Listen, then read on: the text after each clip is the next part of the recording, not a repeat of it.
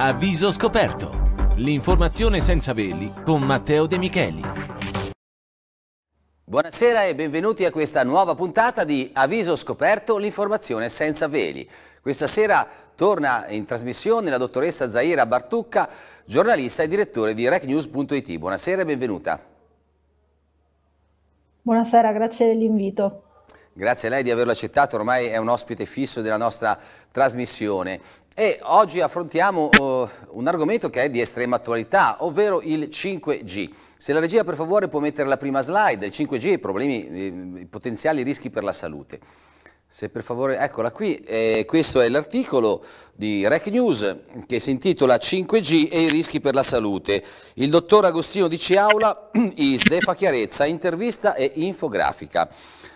La tecnologia che sta entrando nelle nostre tasche, nelle nostre case per mezzo di smartphone, tv ed elettrodomestici è più un'opportunità o un rischio? Lo abbiamo chiesto al presidente del comitato scientifico dell'International Society of Doctors for Environment. Ecco, dottoressa Bartucca, è, più un rischio o più un'opportunità in base a questa intervista?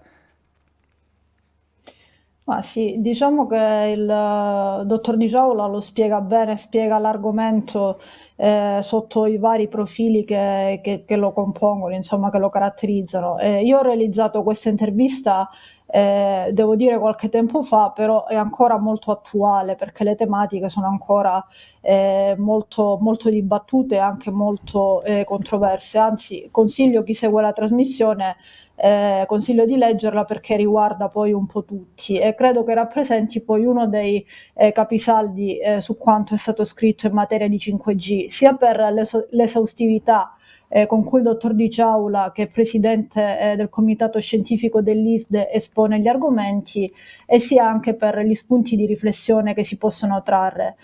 Cosa eh, evidenzia il dottore nel pratico? Fondamentalmente che l'esposizione alle frequenze del 5G eh, che si stanno via via sommando a quelle già esistenti e eh, unita all'esposizione a una moltitudine di ripetitori può avere ripercussioni sulla salute umana, sugli insetti che sono utili al benessere dell'ecosistema e sulle piante e nel corso dell'intervista vengono spiegati poi nel dettaglio i motivi che sono alla base di queste considerazioni. Si parla poi anche, una cosa molto importante, delle onde millimetriche che secondo alcuni studi possono eh, alterare i meccanismi che sono alla base del funzionamento delle cellule e portare addirittura ad alterazioni dei geni e dei cromosomi.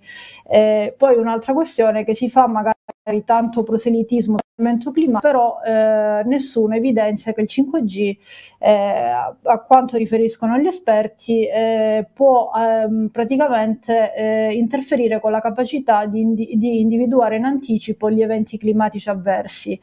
Eh, poi ricordo solamente una, una cosa, diciamo, eh, un aggancio all'attualità molto importante, cioè che lo scorso 27 ottobre sono più che raddoppiati i limiti di esposizione alle frequenze elettromagnetiche con l'approvazione di un emendamento eh, che è stato posto al DDL concorrenza. E un ulteriore rialzo potrebbe avvenire tramite lo stesso meccanismo, cioè tramite delle proposte di modifiche a disegni di, a disegni di legge che poi non c'entrano nulla tra l'altro con, eh, con il 5G. Se si innalza il, il limite di esposizione alle frequenze elettromagnetiche non vuol dire certamente che il 5G improvvisamente diventa eh, più sicuro, ma solo che siamo ancora più esposti a una tecnologia che non conosciamo a sufficienza e che eh, dunque dovrebbe quantomeno essere trattata secondo il principio di precauzione. Eh, diciamo che sul 5G si è parlato tante volte, devo dire anche a sproposito se ne parla e, e alle volte invece si propone come se sia una cosa eh, molto molto sicura, che non c'è nessun problema. Io leggendo dell'articolo no, funzionerà il 5G utilizzando in maniera combinata diverse frequenze. Alle frequenze già in uso, quindi è vero che in parte verranno usate le frequenze già in uso, però se ne aggiungeranno delle altre mai utilizzate sino ad ora con le intensità e l'ampiezza geografica di esposizione previste dall'implementazione del 5G. Ecco. E si parla, e questo è impressionante, secondo le stime di Agicom, la densità di, di, dispositivi connessi in ricezione e trasmissione si parla di un milione di dispositivi per chilometro quadrato.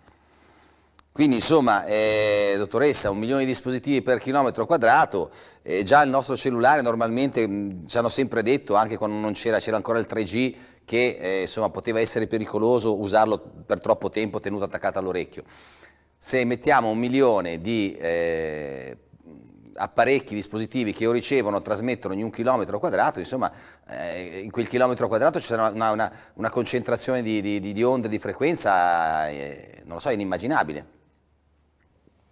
Sì, infatti uno dei problemi che si evidenziano è proprio quello della sovraesposizione, eh, sia come dicevo prima perché ci sarà una copertura poi che è capillare e sia come diceva lei per la presenza di tutti questi eh, dispositivi. Sicuramente uno degli argomenti di chi promuove eh, il 5G senza farsi domande e che non si può dire sempre di no eh, o non, non, non, si può frenare la tecnologia o cose del genere. Cioè, qui secondo me non si tratta né di dire sempre no né di voler eh, a tutti i costi essere contro un qualcosa che può eh, permettere alla fine di progredire.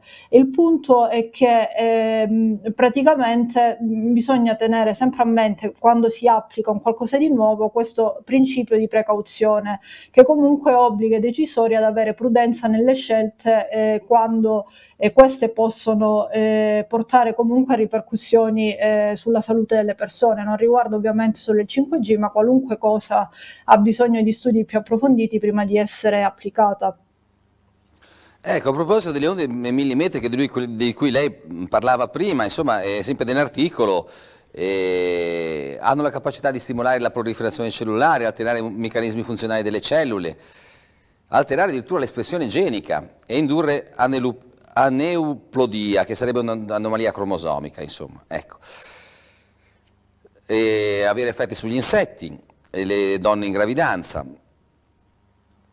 Però c'è anche un rischio, ecco appunto, che questo che, che, che, che, è anche importante, non è un rischio direttamente eh, collegato alla salute, ma la violazione della privacy e di quant'altro, perché eh, dati personali, eh, eh, e addirittura qui ci si cita che è un problema di sicurezza nazionale, perché anche perché con il 5G si implementeranno le, camere, le telecamere a riconoscimento fa facciale, i microfoni in mezzo, insomma, in giro per, per, per le strade.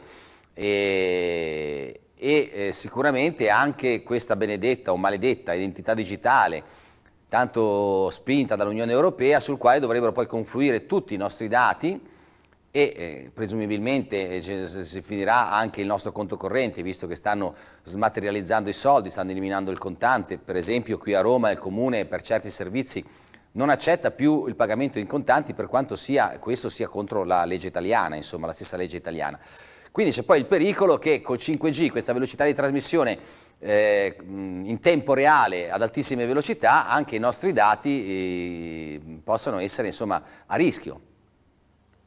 Sì, c'è un problema che riguarda sicuramente la, la privacy e la sicurezza dei dati, anche eh, come sottolineava lei, la sicurezza nazionale, perché comunque le aziende che sono in, corso, in corsa per lo sviluppo eh, a pieno regime di questa tecnologia eh, sono comunque estere. C'è molto, diciamo, eh, della Cina, ci sono comunque stati esteri che eh, ci tengono diciamo, ad allungare i loro tentacoli eh, un po' ovunque, questo quantomeno desta eh, un po' di preoccupazione, anzi eh, un bel po'. Ehm, come, come, tutte le cose ha bisogno ovviamente di essere eh, in qualche modo eh, regolarizzata, però eh, questo non può avvenire se si pensa senza porsi nessuna domanda a una mappatura capillare di tutto il territorio, a, a installare diciamo, a live- anche freneticamente eh, delle antenne e quindi a, a sovraesporre la popolazione a ehm, tutti i possibili rischi che sono connessi, che comunque sono evidenziati dagli esperti. Eh sì, eh, anche perché diciamo anche una cosa, ehm, che i 5G ad oggi insomma non, non sono in tanti ad utilizzarlo e per, per, per, gli usi personali penso veramente poche persone, non tante insomma, eh, la maggior parte continua a usare il classico smartphone col 4G. Poi c'è questo problema delle onde, sempre leggendo dalle onde millimetriche, dal, dal, dal suo articolo, che eh, insomma eh, si discute molto, dicono, molti dicono gli alberi danno fastidio al 5G, per questo motivo stanno abbattendo tanti alberi, per, per, per, far sì che il 5G sia eh, insomma, libero di, di, di, di, trasmettere. Ma eh, le, cosa dice praticamente? Le onde millimetriche